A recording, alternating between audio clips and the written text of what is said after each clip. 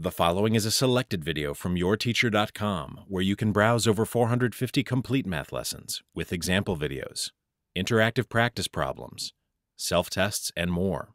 Try a complete lesson today at yourteacher.com.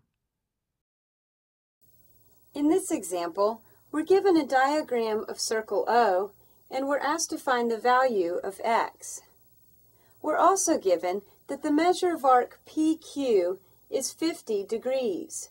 So we know that the measure of angle O is also 50 degrees because the measure of a central angle is equal to the measure of its minor arc.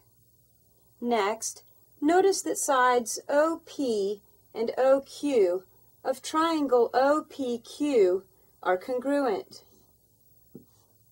Because each represents a radius of circle O, and all radii of a given circle are congruent.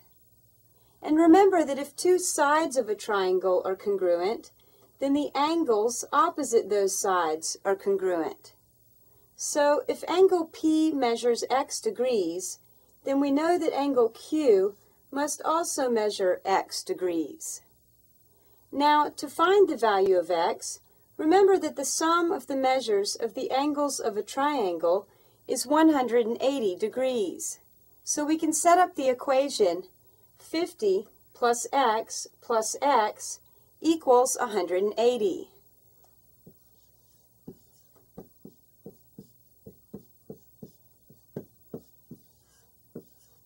This simplifies to 50 plus 2x equals 180.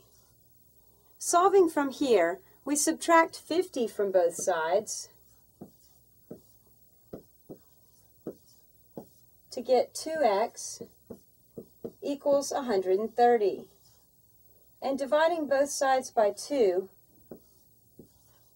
we find that x equals 65.